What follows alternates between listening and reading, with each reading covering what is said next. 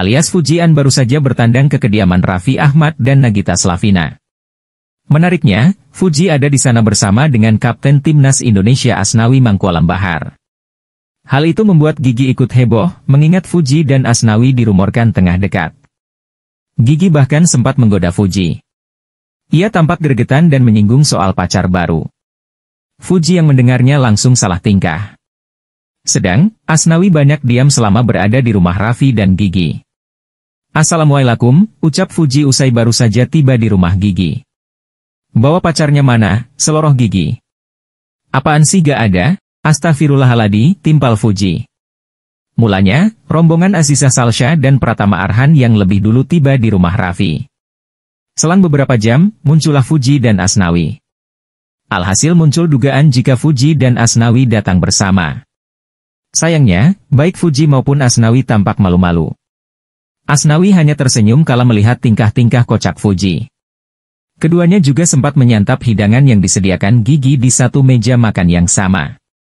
Momen Fuji dan Asnawi di rumah Raffi itu langsung menyita perhatian banyak orang. Keduanya akhirnya terlihat bersama usai diduga berusaha menutupi kedekatan mereka.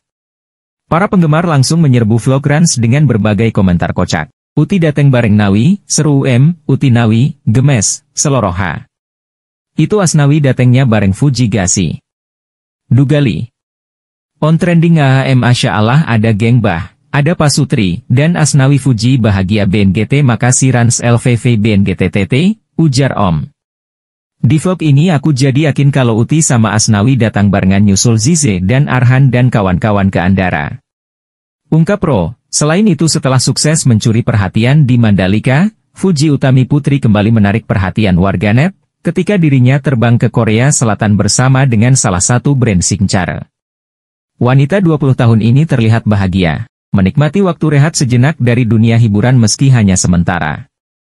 Dengan busana kasual dan gaya yang simpel, mantan kekasih Tarik Halilintar ini. Banjir pujian dari warganet di kolom komentar Instagram. Banyak netizen yang memuji paras cantik dan imut, wanita dengan julukan, Mama, Gala ini. Tak hanya sampai di situ, keberangkatan Fuji ini ramai diduga netizen akan bertemu dan kencan, dengan sang kapten timnas Asnawi Mangkualam. Bagaimana tidak, kini Asnawi baru saja memperpanjang kontraknya di klub divisi kedua Korea Selatan, dan keberangkatannya beberapa jam berselang dengan Fuji ramai jadi pembicaraan. Meski begitu, baik Fuji maupun Asnawi keduanya tak ambil pusing dengan tudingan netizen. Justru terlihat menikmati hari-hari saat berada di negeri Ginseng.